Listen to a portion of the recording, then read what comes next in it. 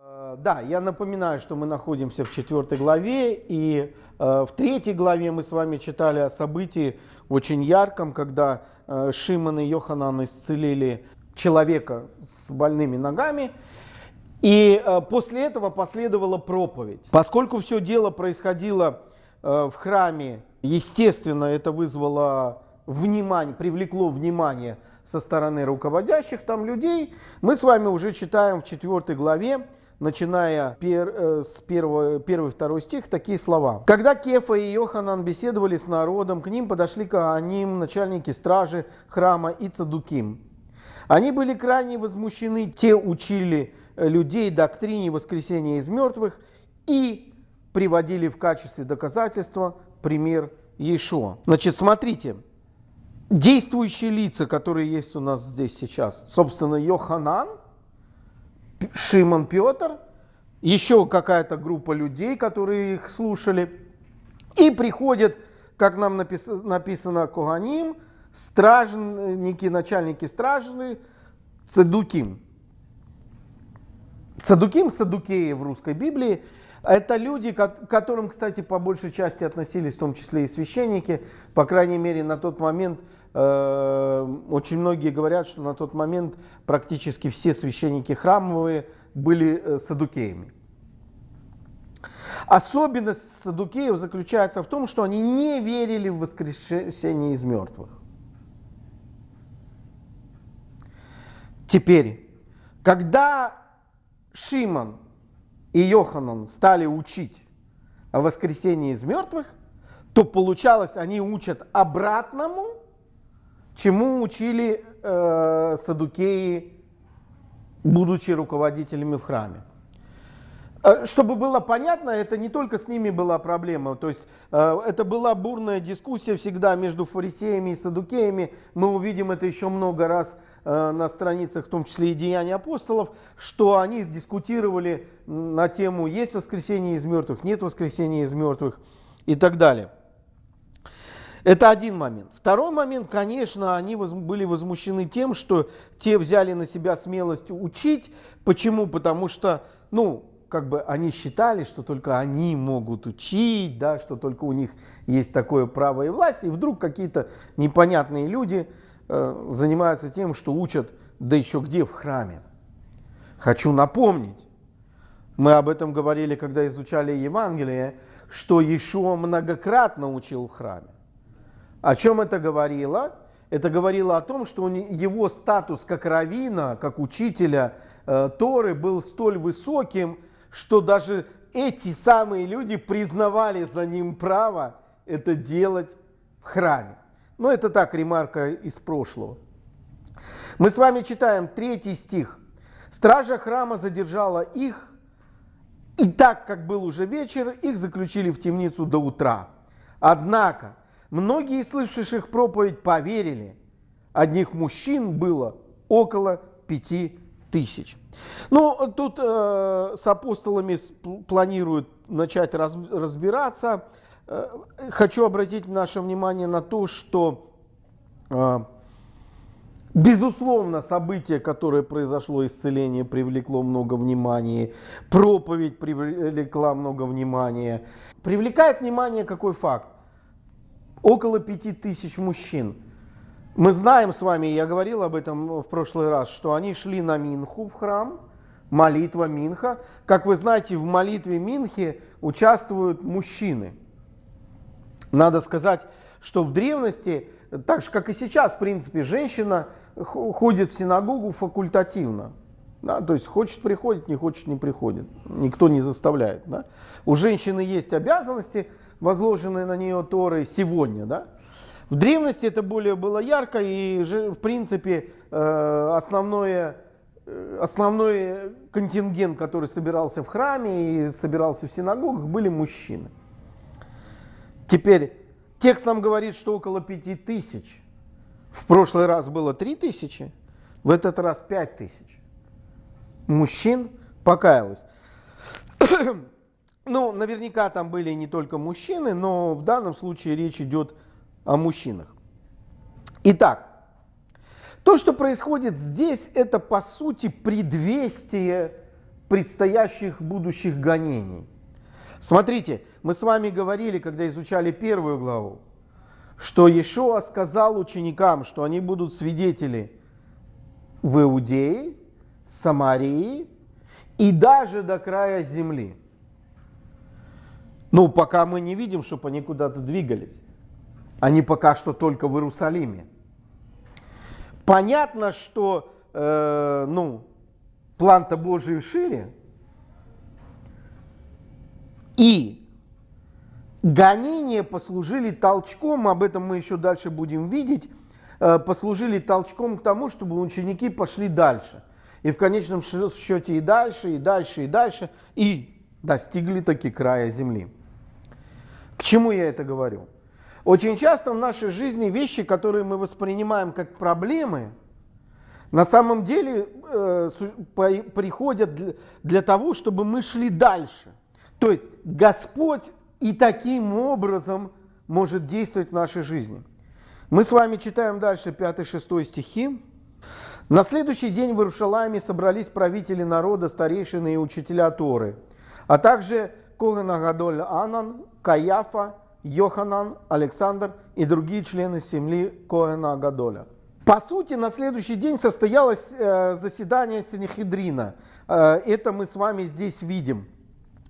Присутствуют э, священники, которые уже упоминались на страницах Священного Писания, причем некоторые из них отметились даже в Талмуде, а некоторых мы, честно сказать, вот Александр, ну понятия не имею, кто это такой, откуда он взялся, но Главное это, конечно, заключалось в том, что э, они попытались собрать синехидрин, это некое подобие того, что они делали, когда судили Иешуа, да, и они надеялись, что таким образом они смогут остановить проповедь апостолов.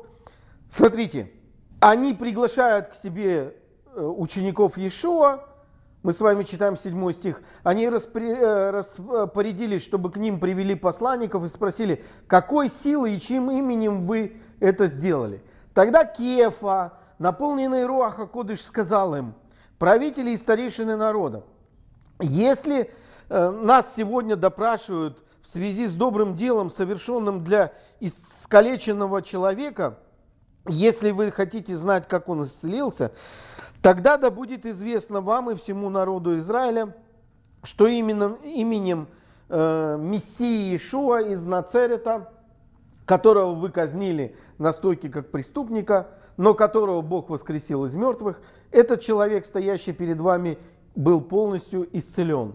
Этот Ешуа камень, отвергнутый вами строителями, который стал краеугольным камнем, ни в ком другом нет спасения – так как нет другого имени под небесами, данного людям, которым надлежит спастись. Разумеется, Шимон не мог не воспользоваться этой возможностью. Когда тебя спрашивают, а их тут спросили, и ты имеешь возможность не просто ответить, а мы видим, что в этом есть действие э, Духа Святого, который он говорит именем Иешуа, Машиах. Слово «мессия», которое, как это звучит в русском, в русском языке, «машех», «Христос», есть это просто разные языки, означает «помазанник». На тот момент помазанников уже не было вообще в Израиле. То есть мы знаем с вами, что помазывали в соответствии с Священным Писанием царя, пророка и священника. Поскольку не было пророков – то не было и помазаний. Уже много и много-много веков. Да? Другие не имели права помазывать. Теперь, то, что мы с вами читаем здесь, тот момент, когда это слово символизировало, или точнее сказать так, связывали только с Машехом, который должен прийти, или с самим Богом. И он им говорит, Машех Иешуа, который в соответствии с обещаниями, данные Аврааму, пришел в этот мир, Он исцелил.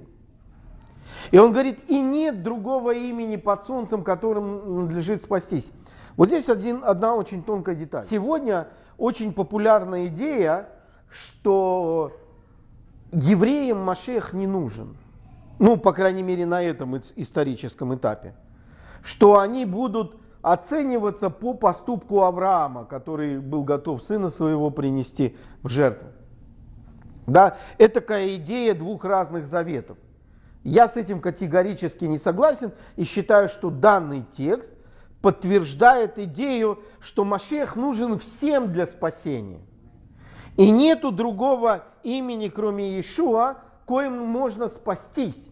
Другой вопрос, что это продолжает исполняться тот же самый э, то завет или то самое обетование, которое Бог дал Аврааму. Здесь мы с вами читаем, Шимон цитирует Псалом в своей манере. Я вам говорил, что Шимон любит апеллировать к священным писаниям. Он читает Псалом 117, 22 стих, написано «Камень, который отвергли строители, соделался главой угла». Упрекая Э, их, он говорит ему, есть единственная личность, нету альтернативы, не может быть альтернативы для спасения, не может быть иного спасения ни для евреев, ни для язычников. Если вы обратили внимание, и если вы помните, то эта проповедь имеет одно ключевое отличие от предыдущей проповеди, когда он проповедовал перед народом. Какое? Он в прошлый раз сказал народу, что они сделали это непреднамеренно. А сейчас он такого э, старейшинам не говорит. Почему?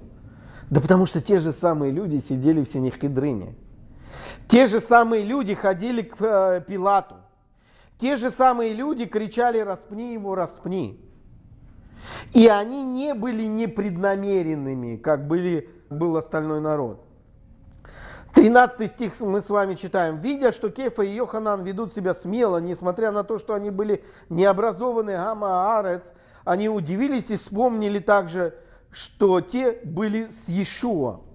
Они вели себя смело, несмотря на то, что были провинциалами из Галилеи. Их акцент, их одежды выдавали, что они явно не были из фарисейского, там, которые там ходили в особых одеждах. Да?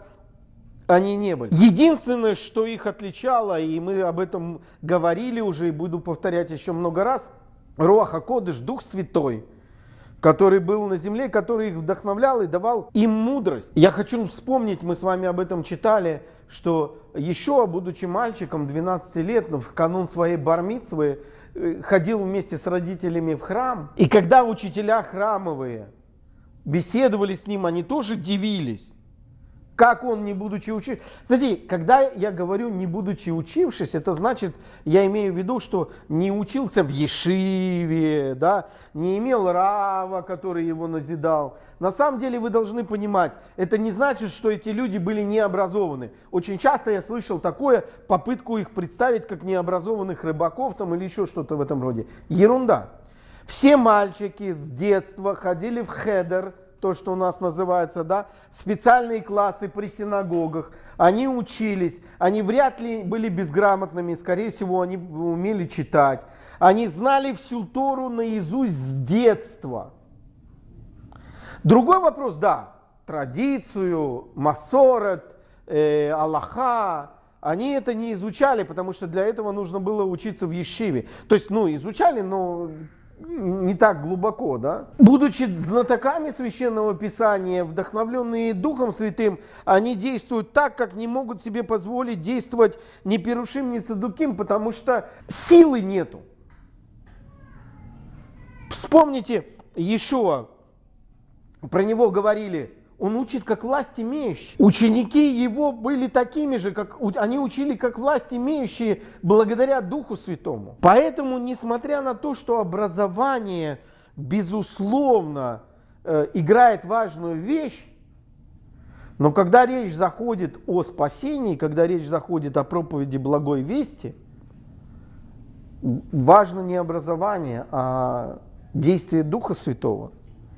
И мы много-много раз на страницах э, Нового Завета наблюдаем эту картину. Сегодня очень часто в наш адрес э, верующих в Машеха, мессианским, да, звучит упрек, что, мол, ну что ваши учителя там, они нигде не учились, Ешив не заканчивали там это самое.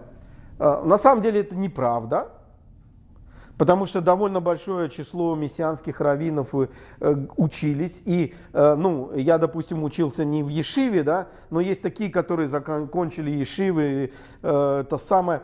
Я могу сказать, есть, был такой, он недавно умер, лет, наверное, 15 назад, больше уже, наверное, Даниэль Цион. Он был главным раввином Болгарии. Достаточно вам будет сказать, что когда фашисты пришли в Болгарию, они потребовали вы, выдать им всех евреев. Даниэль Цион пришел к королю Болгарии, царю Болгарии, как его там это самое называют, и сказал, не надо этого делать. И он уговорил его. И э, болга, болгарские евреи, там было примерно 50 тысяч евреев – меньше всех пострадали в Холокост. Он сделал алию, приехав сюда в Израиль. В синагоге в Яфа был главным раввином много лет. Каждый шаббат с утра приходил на службу в синагогу, а дома в обед делал уроки из Нового Завета. И вся его община болгарская, потому что его любили очень сильно, да, он их родителей спас, многих, э, кто выжил, спаслись благодаря ему, он практически всех их сюда перевез. Его очень любили и уважали, и знали, что он верит в Иешуа. Его уж никак не образованным не назовешь. Также никак не образованным не назовешь ни Алекса Бленда, да, ни Мишу Цина, хотя Миша Цин ну, учился не в Ешиве, но все равно. Важно образование, нужно образование. Может быть, для тех вещей, которыми я занимаюсь, или еще э, для кого-то. Да? Но для проповеди Евангелия нужно не это. Нужен Дух Святой, который будет действовать в сердце. 14 стих мы с вами читаем. Более того, поскольку прямо перед собой они видели исцеленного человека, они уже никак не могли поставить под сомнение это исцеление. Тогда они велели им выйти из Синахидрина, а сами стали тайно совещаться. Что нам делать с этими людьми, спрашивали они друг друга. Весь Иерушалаем идет за ними. Ясно, что ими совершено необычное чудо, и мы никак не сможем его опровергнуть.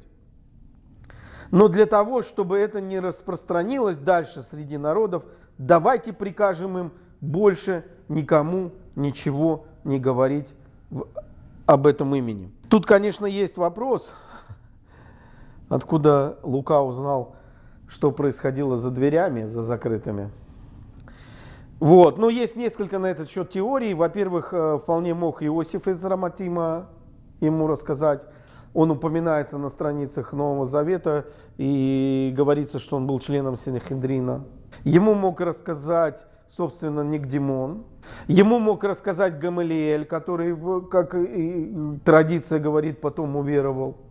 Не в этот момент, а позже. Но я сильно подозреваю, что ему рассказал Шауль.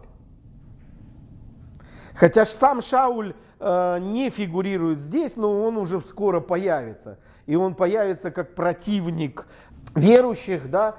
Шауль, и это и исторически подтверждается, был явно в дружеских отношениях с э, священством храмовым.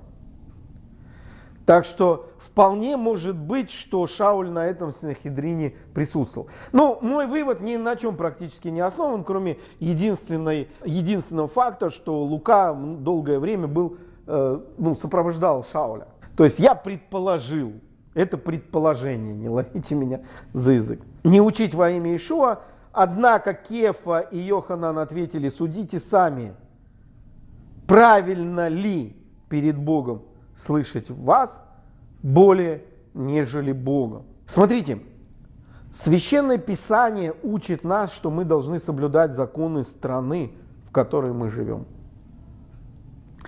В любой стране есть законы хорошие, есть плохие. Есть законы, которые можно так или иначе обходить в пределах законов, не нарушая его.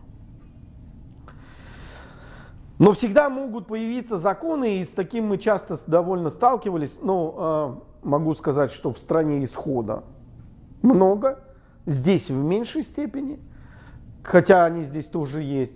Когда нам запрещают говорить, пытаются запретить, говорить нам, например, о нашей вере. Не призывая нарушать законы государства, если закон будет мешать мне исповедовать мою веру, я буду слушать больше Бога, нежели правителей.